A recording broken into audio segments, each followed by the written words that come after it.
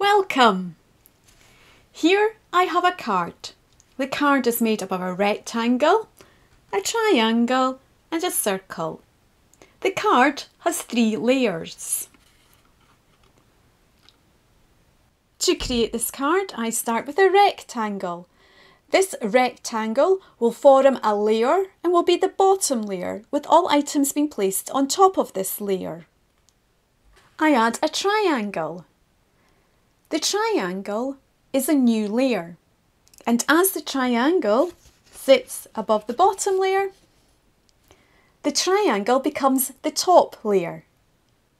It is important to consider the order of layers because if I move the layers into a different order by moving the triangle layer behind the rectangle, the triangle can no longer be viewed.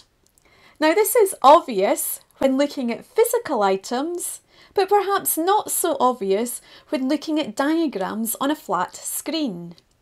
I will come back to this point shortly.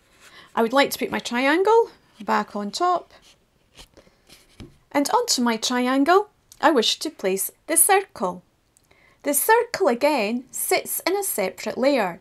And as I'm putting it on top of the triangle, the circle becomes the top layer with the triangle now becoming the middle layer and the rectangle still the bottom layer.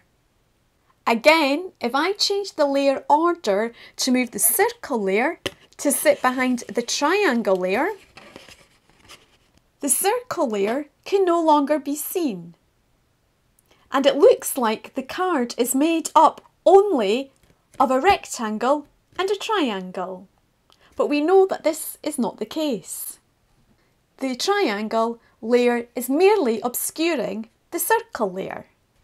The same logic with regards to the order of layers applies to data visualizations on a report or dashboard, for example, which a user is viewing on a flat screen.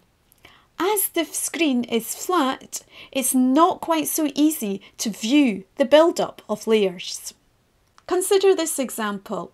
I have some text placed on top of an image.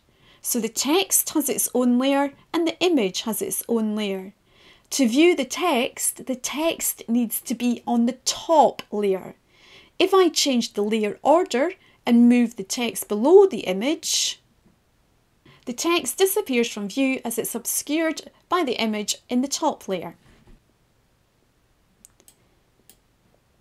So when preparing data reports, please think about the order of layers to ensure that nothing is accidentally obscured.